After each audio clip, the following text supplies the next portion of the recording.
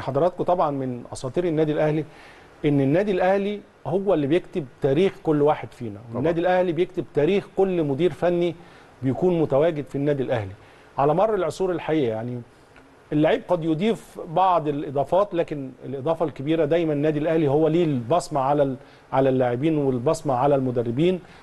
تقريبا كل المدربين اللي حضروا النادي الأهلي حققوا نجاحات كبيرة جدا وكان ال CV كمان بتاعهم بيعلى يعني. موسيماني على سبيل المثال وجوده النادي الأهلي والبطولات اللي خدها أسهمه عليت جدا وال CV بتاعه بقى CV محترم وبالتالي كان ليه فرص للانتقال للدوري السعودي. كمان عندنا صورة جميلة قوي الحقيقة. كمان كولر بيحتفل بعدد ال followers اللي عنده على انستجرام أعتقد وصل لمليون.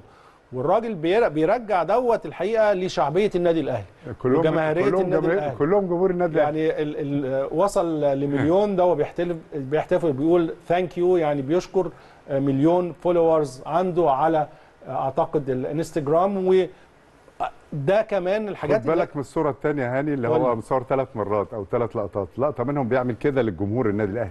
لا طبعا بيحييهم ال followers دولت جمهور النادي الأهلي الكبير.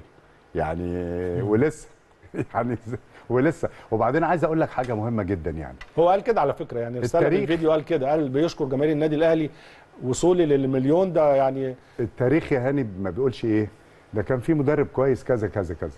إنما دايما للإنجازات الراجل صاحب الإنجازات لعيب أو مدرب هو اللي اللي بيبصم في صفحة التاريخ. صحيح.